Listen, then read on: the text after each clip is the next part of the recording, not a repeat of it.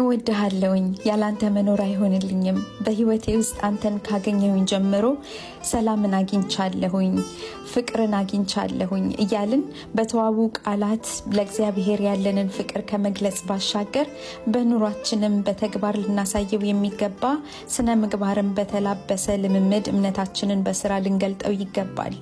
እምነት ያለ ስራ ከንቱ ነውና የማይቻለውን ነገር ሁሉ እንድንችል የሚያደርግ የእግዚአብሔር ጸጋ ያለ መጠን ተገልጧል። ብንደክም የሚያበረታ የእግዚአብሔር መንፈስ አብሮን አለ። ዋናው የእኛ ፍቃድና የልብ ተነሳሽነት ነው የሚያስፈልገው።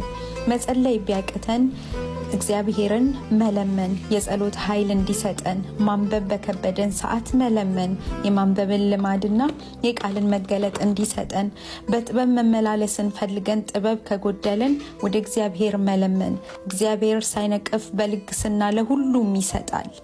የለመነውንም በእምነት እንለምን ይሆናል። ባል ከሚስቱ ሁሉንም ነገሯን እንደሚፈልግና ከቃል ያለፈ በተግባር የሚገለጥ ፍቅርና ከበሬታን እንደሚሻ ሁሉ ለዘለዓለም ሕይወት ያጨን ሙሽራችን ኢየሱስም እኛን እንደዛው ይፈልገናል።